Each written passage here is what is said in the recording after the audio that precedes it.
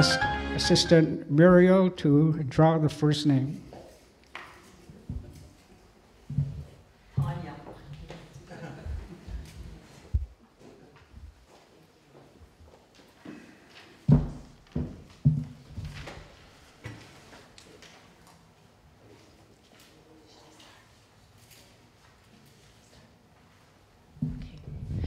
Good evening, everyone. My name is Tonia Williams, and this is my second time officially running.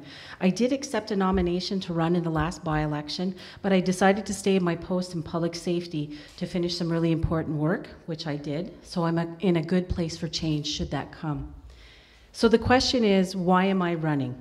I wanted to share a little bit about myself in this speech and maybe a little less technical and more from the heart, and really take the time to ask the question what does community mean to me?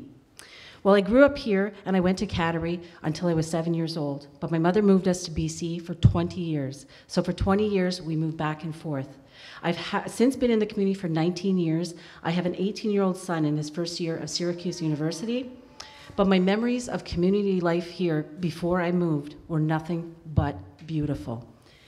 I had my grandparents, Angus Jacobs, my grandmother, Dorothy Horn, Jacobs, my mother, Valerie Jacobs, and my father, the late Wendell Williams. So I had a lot of cousins and a lot of experiences that I unfortunately missed out on. So community life meant a lot to me to come back and dedicate my career and my education to helping our community grow. I came back in 2000 and I worked for council on and off for about 19 years. I worked on the QKR and the CKR political agreement packages, including justice, environment, and subsidized daycare. And I always pause on the subsidized daycare, excuse me, because at the time I had a young uh, a baby, and I had, like other parents, had to pay 150 to 200 dollars a week in daycare. We also had to take our children outside of the community, and that made me work harder on that agreement. And so when we finished it and step by step was built, and my son came home with his Mohawk name on his projects for $5 a day, was one of the best experiences of my life.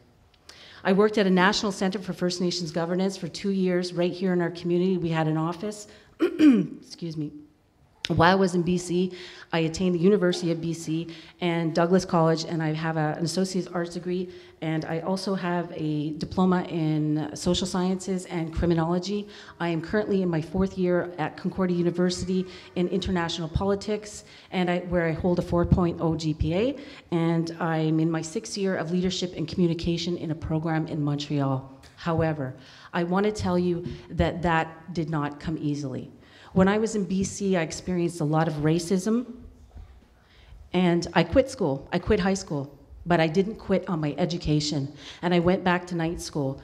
But I wasn't prepared for university, and I wasn't prepared for college, so I struggled. And I had a little bit of a learning disability, and I had to figure it out the hard way.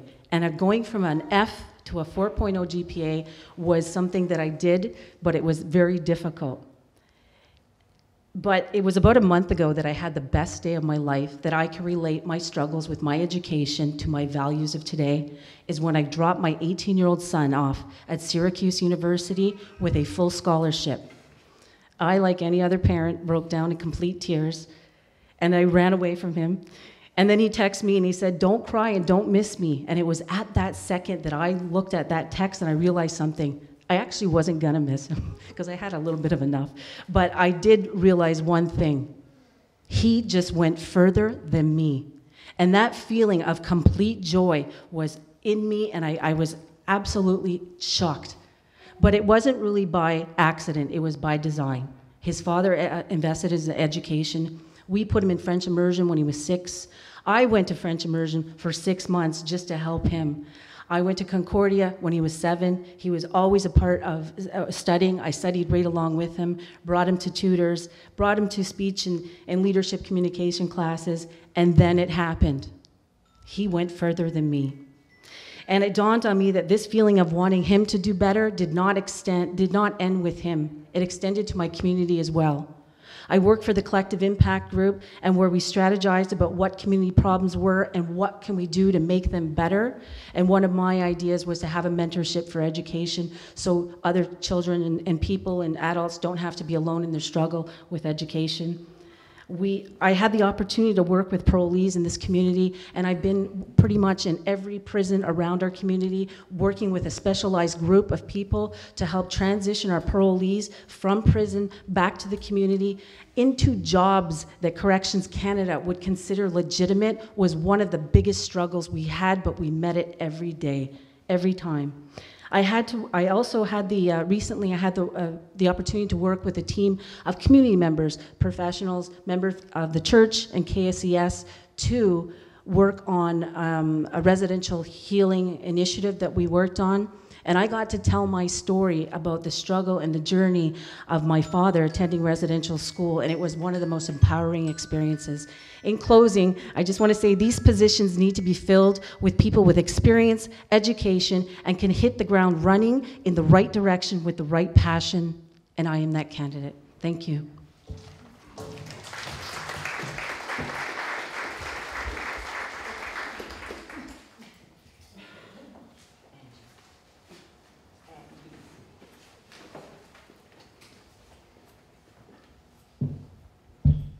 Thank you, Tonia.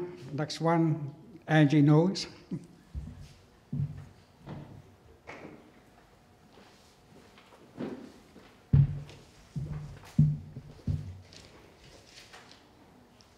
Good evening, good evening, everyone. My name is Angie Lee Jokpanoto Whitebean Brass I would like to start off by thanking everyone for coming out tonight and also thanking the electoral office and the uh, Mohawk Council for setting this night up. My grandparents are Sarah Nolan, Lawrence Whitebean, Peter Diabo, and Virginia Jocks. I'm 39 years old. I'm a member of the Wolf Clan. I'm married for 19 years to my husband Curtis Brascoup. I have five children and five beautiful grandchildren. I have been involved in Kahnawake sports for approximately 16 years, which includes hockey, lacrosse, um, football, soccer, uh, and the KSS wrestling team. I'm a new parent to the soccer and football. I started out as a mother, a fan, to a team manager for multiple teams at once, to a lacrosse board member. I even went as far as lending my personal vehicle to the wrestling team so they don't have to spend money on a rental. I am a strong believer in helping our youth of Kahnawake. I have also fundraised for multiple organizations in town. Excuse me. Um, uh, including getting donations for Indian Way School to purchase new supplies. My main concern is for the children today, actually not only today, but for the future, for their education and their sports.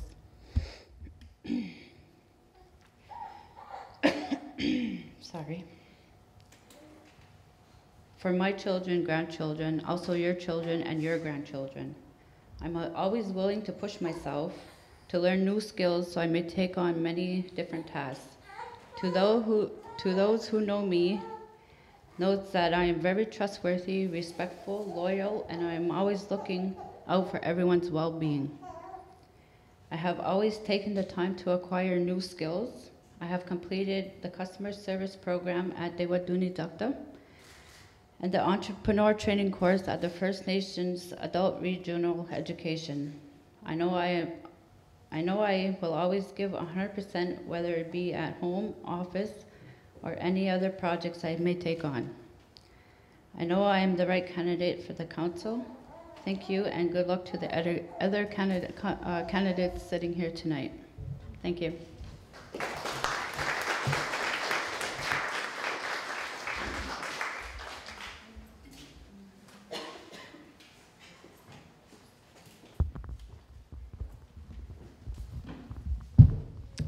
Thank you, Angie. Next up is Cody.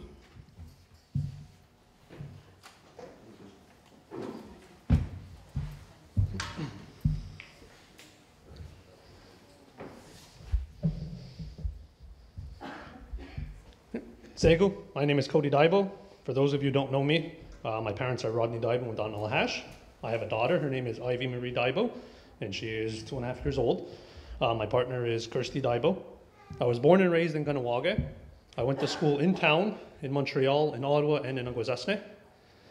I worked in my aunt's store as a teenager, as an electrical apprentice in my later teen years, as a peacekeeper during my early to mid 20s, and for past three years I've been working at the Kateri Hospital as the security guard.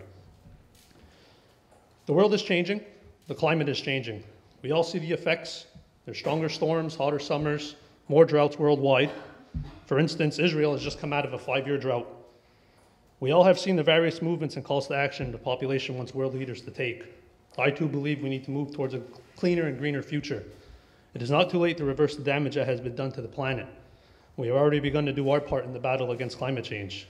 For one thing, the tree planting initiative that took place a couple weeks ago by the Kahnawake Environmental Protection Office, and individuals who choose to recycle and cut down their carbon emissions. I myself, I like to bike to work as much as possible, as long as the weather permits it. It only takes one person to get the wheels turning, to begin the path to show that there's another way. I ran in the last by election, and my focus was and still is on long term self sustainability. I've mentioned my ideas to begin a communal farming industry and to start our own clean energy power grid. From these initiatives, we would not only create much needed jobs with benefits in the community, but also increase the quality of life by having healthier food at a lower cost and hopefully one day free residential power.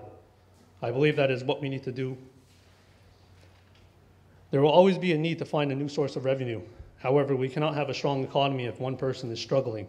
That's why I feel we need to focus on how to make sure our people are not struggling. Strong economies are created when everybody has extra, not just a few. Therefore, we need to focus on our own farming industry and our own power grid to ensure nobody goes to bed hungry and don't have to worry if their power is going to be shut off. Change is always scary. We are beings of habit. We like to do things that we know. But change doesn't mean bad or worse. Sometimes we need to take that leap. We have a chance to ensure our survival, not just as a community, but as a people. We can be the example for our sister communities to follow, for the Confederacy to follow, for the world to follow. The peacemaker showed us his vision of a unified people and the strength of a bundle of arrows compared to the strength of one arrow. Now I ask you to see my vision of a self-sustainable Kahnawake, one that will lead us into the future. Thank you.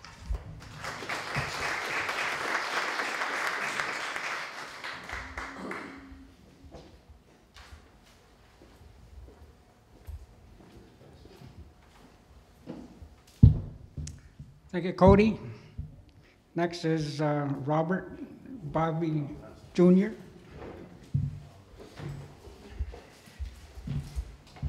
Well, good evening, everybody. As uh, Jack Nicholson would say, I'm back. Well, it was a difficult decision to run for council again. It's been a year and a half that I've been away from the table. When I didn't get back in a year and a half ago, it was like upsetting, but I think it was a blessing. Because personally, I had to deal with the loss of my mom and many other issues and the loss of my best friend, I guess. The thing is, what I can, what I'm here about is, as my dad would say, speak from the heart. After so many years of policing, I got to learn and see what our communities need, the needs of our people, the needs of our youth, the needs of our, our elders. Um, I feel that I'm a great listener. I'm very passionate for our community. I always want the best for our community. I always, um, my heart is in the right place for our community because I will listen to everybody. I will not turn anybody away. I have an open door policy. But over the years, I've learned so much from my colleagues that are here tonight. I've learned many lessons. What I've taught is to always think about your community. My passion is about the rights and interests of our, of our people, First Nations people, Kahnawake residents, our community at whole. I feel that the government is always trying to put us down, trying to knock us down, and they want control over all our First Nations across Canada. In the past, I've seen that once we work together, and like Cody says, you know, if you have many arrows, we're stronger. And that's what I've seen over the six years when I worked with the table, is that when you have a great discussion, you always can become stronger, better, and better leaders. And that's how I feel, and what I can bring back to the table, if elected, that the passion, the, the knowledge that I gained, and the understanding of our people, their needs. And that's, um, it would be up to you, and if that's what you want, that's what I'll give. Now,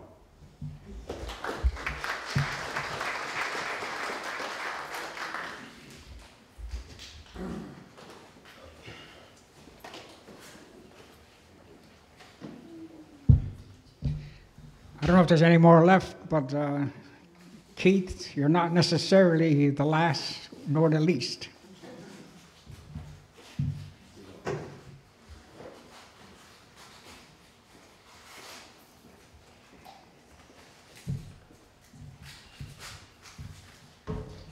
Good evening. That's uh, it's a lot of good stuff coming out of there. um, thank you all for coming tonight. Uh, this is my first time running. Um, I was nominated by my mother and my cousin because my grandmother couldn't make it because she got surgery. Um, I'm not sure too many people know me or what I work with, but I work with uh, Medical Transport and fire, the fire hall to as a first responder and I guess uh, helping people get around when they need it. Um, my father is Billy Jr. McGregor. My mom's Cheryl Montour.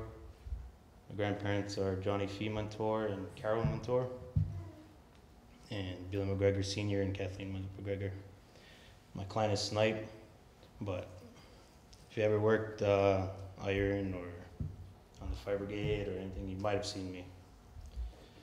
Um, I think I'd be a very good candidate because I'd like to help out this community as much as it's helped me in the past.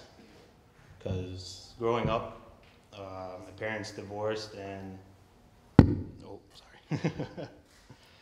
a lot of it was like I had places to go, I had places to see, and a lot of it came up to being brought up properly and finally to stand here above everybody else.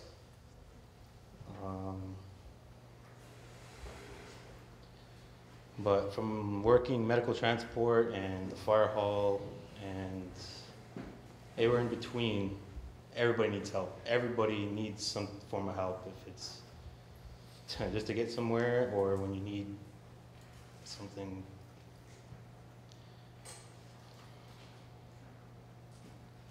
And you need the right people there for that moment, no matter if it's for the fire hall or if it's for the medical to help you getting, because a lot of people can't walk anymore, some people can't move properly anymore.